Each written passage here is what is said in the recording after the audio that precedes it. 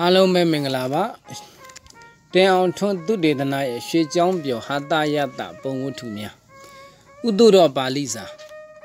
ရွာနှင့်မဝီမနီမဝေတရက်ပင်တောရချောင်းတွင်တရင်သုံးနေသည့်တောရဆရာတော်ဖရာကြီးအား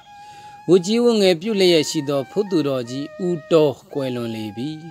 တရင်ကြားသဖြင့်ရွာနီးချုပ်ဆက်မှဒါယကာများရောက်ရှိလာပြီးတောရဆရာတော်ကြီးဩဝါဒအတိုင်းအကျယ်တဝင့်မပြုတ်လောက်ကြတော့ပဲ ဘုသူတော်ကြီးအလောင်းကိုတရဏဂုံတင်ပြီးတုတ်တန်ထုတ်၍မိတကြိုကြရန်ပြင်ဆင်လျက်ရှိသည်အလောင်းတင်ရန်ဝါခုတ်၍ကက်လုတ်သူကလုတ်ဘုသူတော်ကြီးအခန်းကို ရှင်းလင်းသူကရှင်းလင်းနှင့်အလုတ်ရှုပ်နေကြသည်ဘုသူတော်ကြီးဂရင်ဖြန်အောက်မှငွေ30ကျပ်နှင့်စားတစ်စောင်းကို အခန်းရှင်းသူများတွေ့ရှိသည်ဖြင့်ဝိုင်းဖတ်ကြသည်ရေးထားတဲ့စာကရသောရာဇာ တုံဓတမုနိတုတ်တာတတေယာထ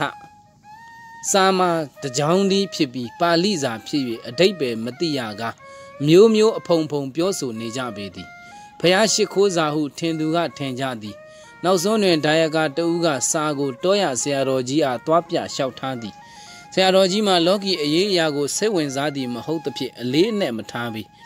ပါဠိကိုအတိတ်ပဲပြန်၍မှတ်ချက်ပေးဒါယကတို့ထင်တယ်လို့ဖျားရှိခိုးလည်းမဟုတ်ဘူး ရဘူးတဲ့ပါဠိတွေထဲမှာလည်းဒါမျိုးမရှိပါဘူး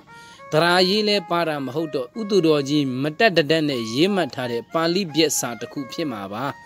ဥတုတော်ကြီးရုပ်အလောင်းပြာချခဲ့ပြီး၍ခုနှစ်ရက်အကြာတွင်ရက်လေဆွန့်တုပ်ပေပြီထိုနေ့တွင်ရဝေးရန်နီပရိတ်တစုံတလောက်ရှိနေ၏ဖိုးသူတော်ကြီးအားတကြိုသည့်နေ့ကခရီးလွန်နေသော ဖိုးသူတော်ကြီးတူးဒီသော တူမဖြစ်သူမိနုမှာစွန့်တုပ်ရေစက်ခွက်ကိုကန်ရသည် ကိစ္စပြီး၍ဥတူတော်ကြီးကျွင်းကြံရစ်သောပစ္စည်းပစ္စယအတိုထွာများကိုဆရာတော်ကြီးကမိနုတို့လင်မယားအားအမွေသဘောမျိုးစွန့်ကြဲပေးအပ်စေရတွင်ဖူးသူတော်ကြီးအိယာဖျားအောက်မှတွေ့ရှိရသောငွေ30ကျပ်နှင့်စားတစ်စောင်လဲပါဝင်လေသည်ထိုအခါတွင်မှတောရဆရာတော်ကြီးမှဥသူတော်ကြီးထားခဲ့သောပါဠိစာကိုခြေရာခံပြီးတော်သည်